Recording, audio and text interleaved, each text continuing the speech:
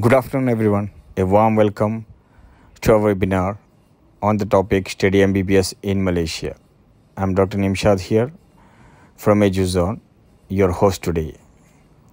I also have Dr. Jahidul Islam, Associate Professor, Faculty of Medicine from University of Cyberjaya, and Mr. Siva, International Students Department, University of Cyberjaya.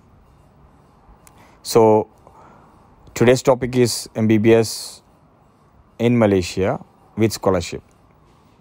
And we will be discussing about various opportunities which you can avail while studying at University of Cyberjaya.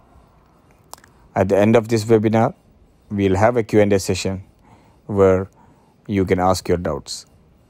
So let us start with Dr. Jahidul Islam on the topic MBBS at University of Cyber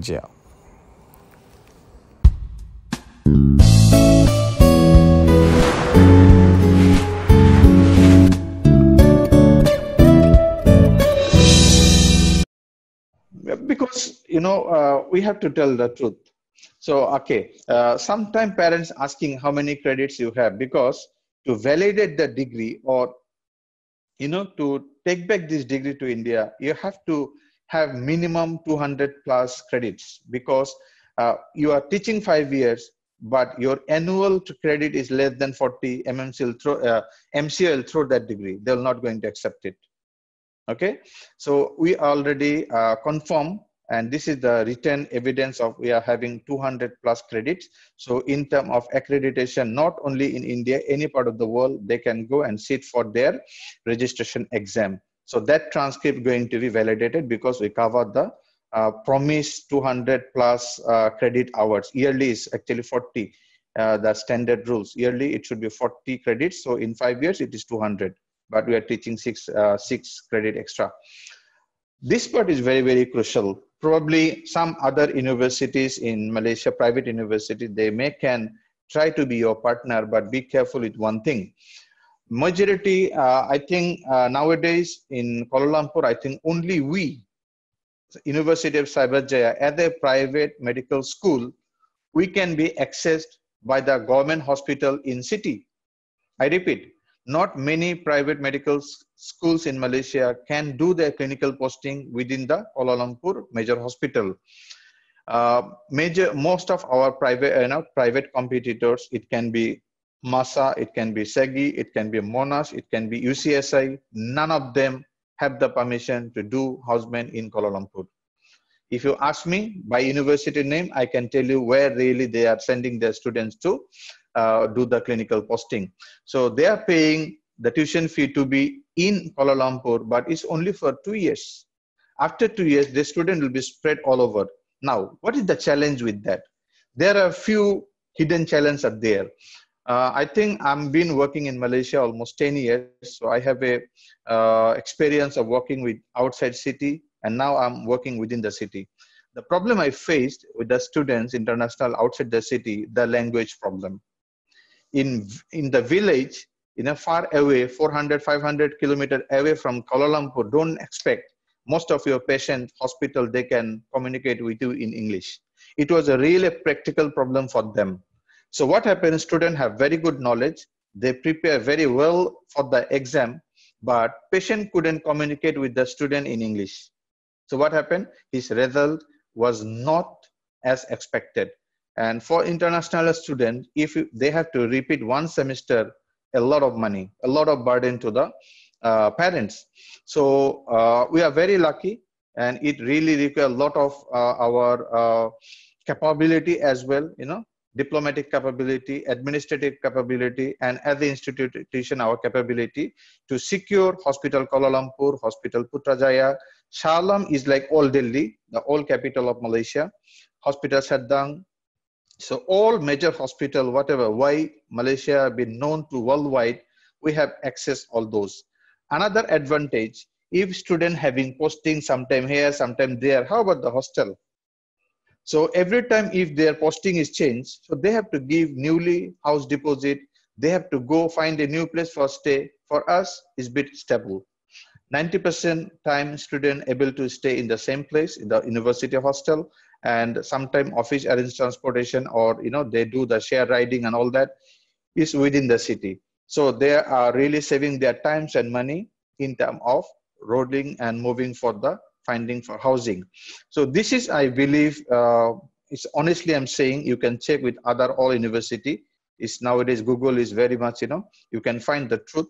This is one of the strength with the university of cyberjaya so it not uh, related to patients uh, speaking or patient cooperation, not only about the hospital, there is another one advantage. Like if any student finish MBBS here and they want to do cardiology, MD in cardiology. So he already know the professors because he has done his three years posting under the same hospital. So that is a big advantage rather than three years they've been stay in outside the city and suddenly coming and want to do MD in cardiology or MS in orthopedics, all professors are new. But for our students, they already know all the professors. I think if anybody, uh, medical parents, uh, you know, MBBS parents, they'll be knowing the value of face recognition uh, phenomenon in medical science. I know you, your 50% effort already done because a lot of vivas are here. Everybody has the knowledge, but not maybe everybody can present, you know, in the same way. But if I know a person, I will give second chance or third chance to deliver your knowledge. So that sympathy comes from the face recognition. So this is, I believe, very strong area of University of Cyberjaya. Okay, uh, this is another part. What really give us a five-star rating by MQA and MMC? You see, the MMC requirement actually one is to see six, the student lecturer ratio. For here, one lecturer taking care of 4.3 i think now even more maybe less or 4.5 but the tolerable limit for mq and mmc 1 is to 6 so we are less populated. So what what is the advantage with that? Each lecturer can recognize the students and really can find out the problems. So who is understanding who is not understanding who is bit lack of focus so that they do the uh, more personal uh, uh, you know attainment with the student to improve their performances. So medical is a very expensive program. The reason is the you know you need really personal care in the hospital posting. Each of our clinical setting not more than eight student with one lecturer in each of the posting. In india when i was student in Munna Bhai mbbs also we saw students are far behind. They don't know what is going the, within the cadaver. But here it's not going to be happen like that. They really can see very closely uh, with the, all the practicums. Uh, this is also very much common with india. Medical student and hospital bed ratio. This is at this moment we have 1 is to 4 here i think the requirement is 2.5 to 3 because it's not as populated as india and bangladesh I believe in India is 1 is to 5, but you show me the doctors patient ratio in India is one of the highest in the world. One doctor for 1,700 people. And in Bangladesh, I think one doctor for 2,200 people. So there is 1 is to 5, but here, Malaysia, 1 is to 4. So one student in each posting should have four patients. So if I send student for psychiatric posting 10 student, so that psychiatric hospital should be 50 bedded.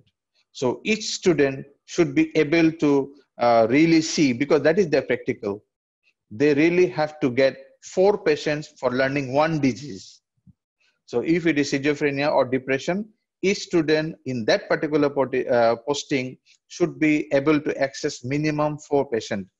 So considering all these factors, MQA has uh, rated us as a five star university. So uh, I think I covered the majority of the concerned area uh, uh which a curious mind should look for a MBBS program is the syllabus, is the integrated program uh, like MD, uh, you know, in USA and MD in Australia.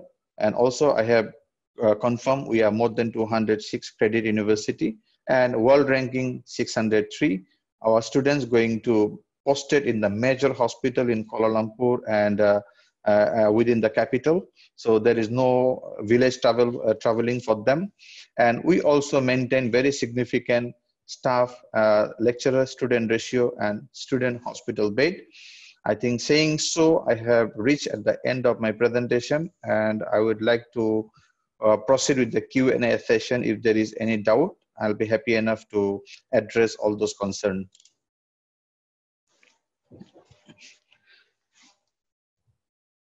Yes, sir, Nimshad.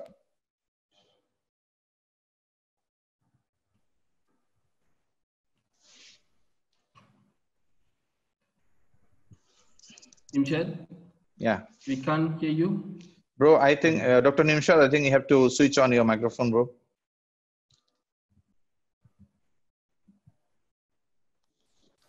Hello. Yeah, yeah. Now, now we can hear you. Okay. So for the students, they can just uh, type the questions on the chat. So that will be more better because there are many attendees. Is there any Hindi speaking people there? I can, I can speak Hindi very fluently. Basically, most of the students, I think, are from Kerala, but it's Oh, fine. okay. Yeah. Okay. I know uh, Kerala, Kerala and Chennai people, they don't speak English, uh, Hindi. Hindi. They yeah. speak, they speak English. I know that. Or if you, if anyone want to ask the question, just you can, just you can, um, you know, raise the hand. There is an option, raise the hand. So we can just, you know, allow to talk. Hi, Dipin.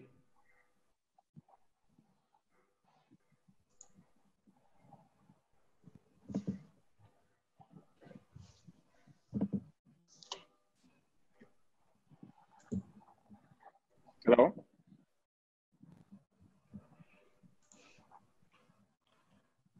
Uh, students, uh, you can ask any questions related to the medical program or MBBS program with Dr. Jahidul Islam. Be able to answer you. Okay, anything like general question you have, you can ask either myself or the um, Dr. Nimshad. Be free to answer you.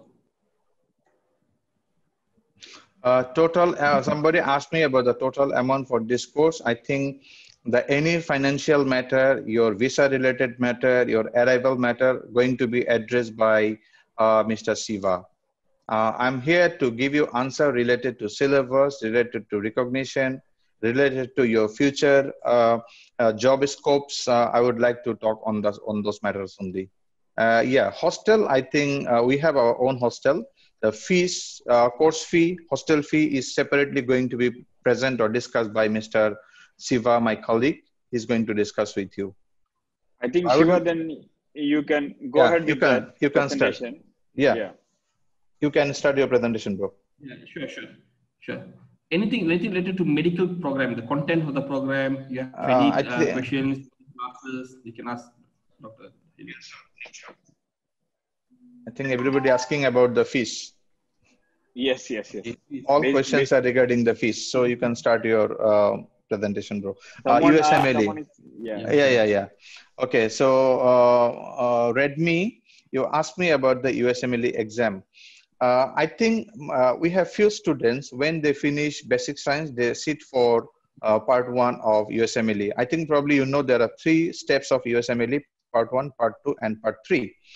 And you will be happy to hear that uh, part one and part two you can really it from Malaysia, and only the final part three, the clinical uh, assessment part, you have to go to either Singapore or maybe in USA. So uh, as we have an integrated curriculum, and if you have the syllabus, and personally, I also help student to give you the syllabus and books. So how you should prepare for part one, uh, what are the things you should study for part two. So majority of our students who want to go to overseas, they sit part one after oh. first professional exam. Can you hear me? So they sit part one after first professional exam after year two, and they sit for part two after final professional exam. So after that, after second part, you need some clinical experiences. So once you completed your internship and you complete your second part, then you can fly to a designated center where you can take part three exam. Uh, so straight your answer, uh, there is a no problem to sit into USMLE exam. I got another question. Any option to practice in Malaysia? I'm from Bangladesh. How I'm working in Malaysia? I didn't study in Malaysia. So maybe I'm a good example in front of your eyes. Not only me, there are so many Yemenis, Sudanese, Lebanese, blah, blah, blah, also working in Malaysia. Why not Indians? And now also so many Indian, my friends, as I said, I'm very fluent in Hindi because I got many Indian friends. We work together. So there is no issue either in academic arena or maybe in the clinical field, you may can work. But only with the MBBS, you will not get a job. You have to have a master's. So if you want to go for clinical uh, field, you want to be a surgeon, you want to be a gynecologist, you want to be a medicine uh, specialist, then you have to do a postgraduate degree in Malaysia. Okay, because Malaysia, uh, or if you want to do India also, okay. But answer is yeah, you can work in Malaysia. I'm I'm working. I'm a Bangladeshi, so I'm working there.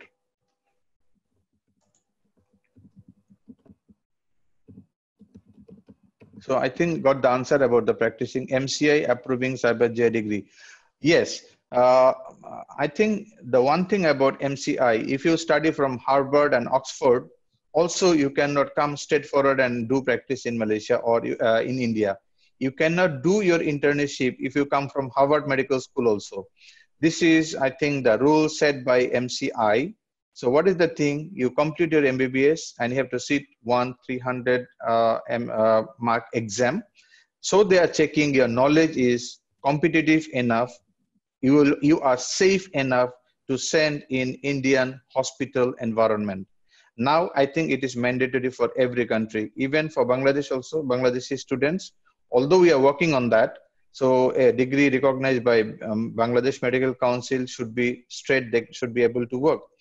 But we follow a lot of Indian policy. So at this moment, the answer is you have to go back and you have to sit for FMG, you know, foreign medical graduate exam, which is uh, 300 marks MCQ exam only.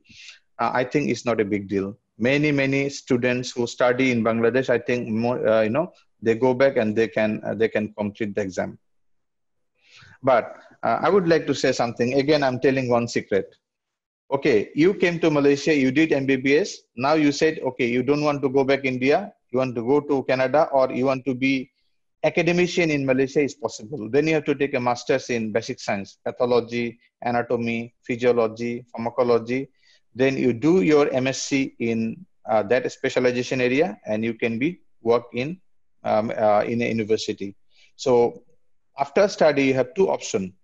One is academic option and another is the clinical option. So you find what is your strength. If you're good in study, yeah, teaching, research, you come to academic field, be a professor in university. But if you say, okay, my passion is to be a clinician, then you have to go and sit for the exam.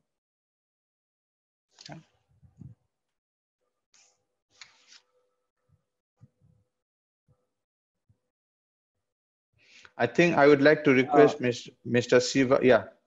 There was uh, any any entrance exam for admission. There was no. Our entrance exam, uh, our entrance criteria is your CGPA, because in Malaysia, anywhere there is is not practicing here entrance exam. We'll be looking through your CGPA. If your CGPA is three, and if you have biology, chemistry, physics, or math, and if, if you don't have more than C, you are qualified enough to join our program.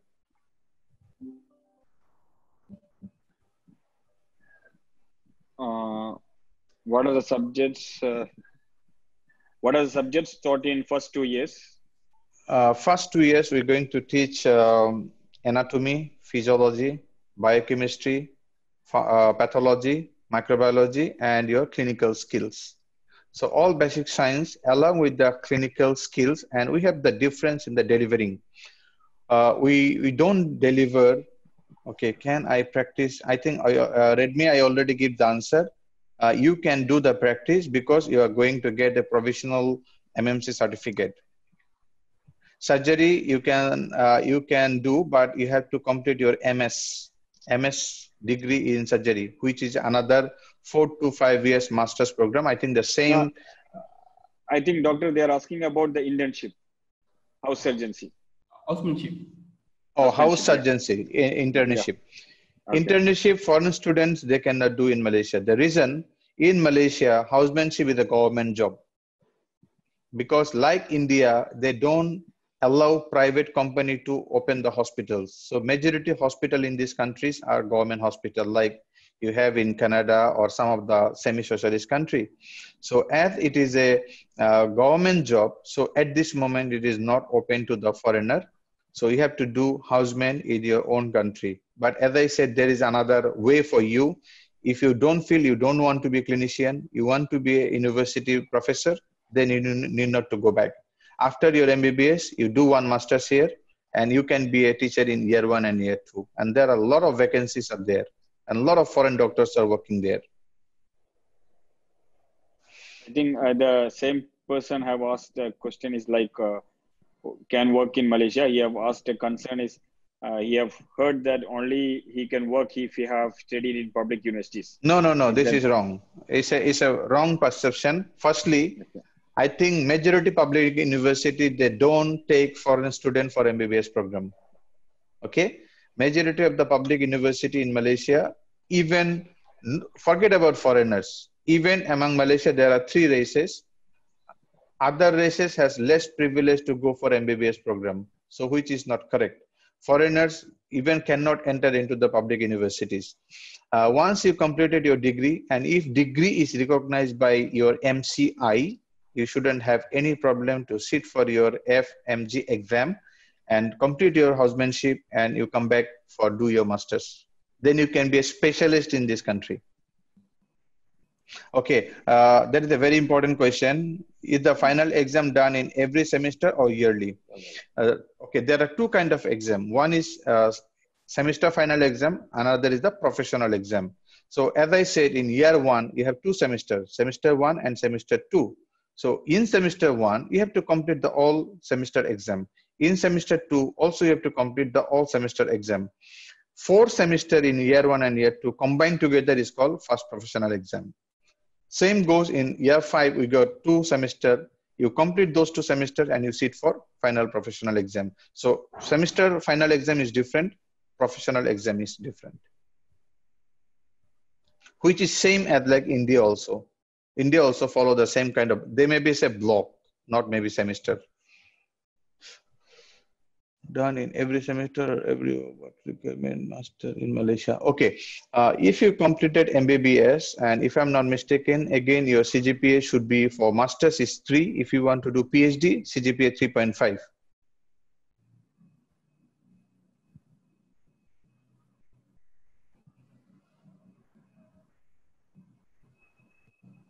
you can do masters don't don't worry for that just you focus on mbbs you complete your degree in time i will arrange for your masters posting don't worry. We also have masters and phd program. I take the responsibility. You're welcome